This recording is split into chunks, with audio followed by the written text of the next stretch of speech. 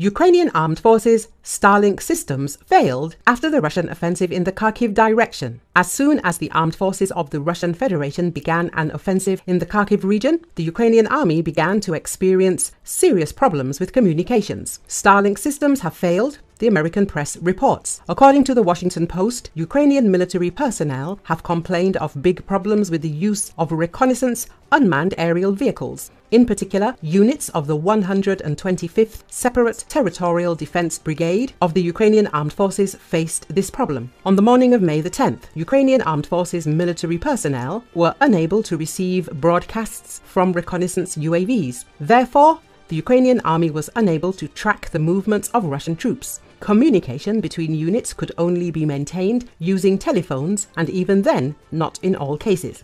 Ukrainian military personnel themselves believe that the operation of satellite communication systems has ceased due to the use of electronic warfare systems by the Russian army. Then confirmation, but indirectly, came from the owner of SpaceX, Elon Musk. The American billionaire acknowledged the presence of increased load on satellite communication systems but associated them with a geomagnetic storm. Ukrainian experts voiced the same version. Let us recall that Starlink satellite communication systems are actively used by Ukrainian formations at the front to ensure communication between units. Disabling them immediately creates serious communication problems which affects the quality of combat operations. Starlink has been instrumental for Ukraine since the early days of the war. Communications are speculatively limited, positioning, navigation, and timing capabilities are leveraged by Ukraine through Starlink. The Russian invasion of Ukraine in February 2022 put the latter in a tough position in terms of staying connected to the outside world. Elon Musk vowed to open Starlink service to Ukraine, and reportedly the service has become indispensable to both the Ukrainian military and civilians. Lately, though, slower service has been reported which could signal the use of Starlink by both sides.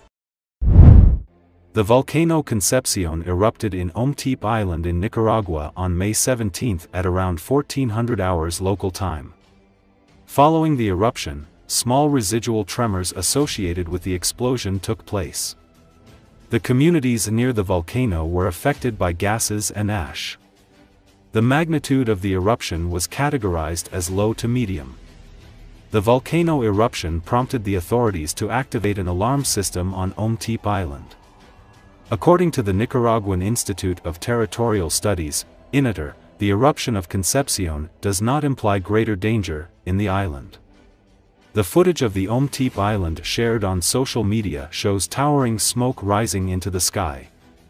Concepcion is 1,610 m tall and rests on a 1 km thick base of quaternary lacustrine mudstones. It is considered a pristine volcano because there has been no influence of other volcanoes on its growth.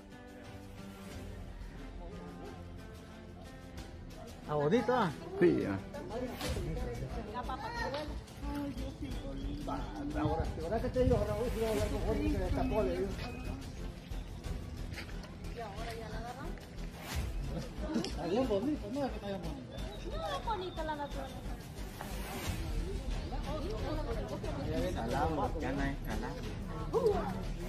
Hey.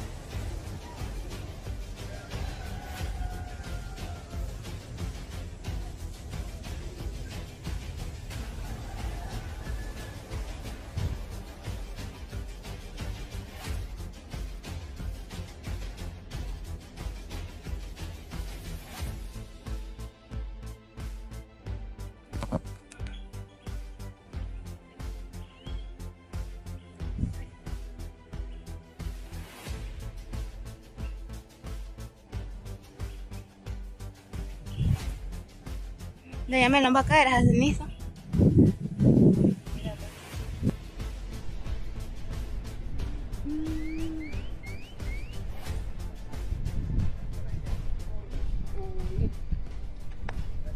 Ay, sí, hasta que suenan las piedras.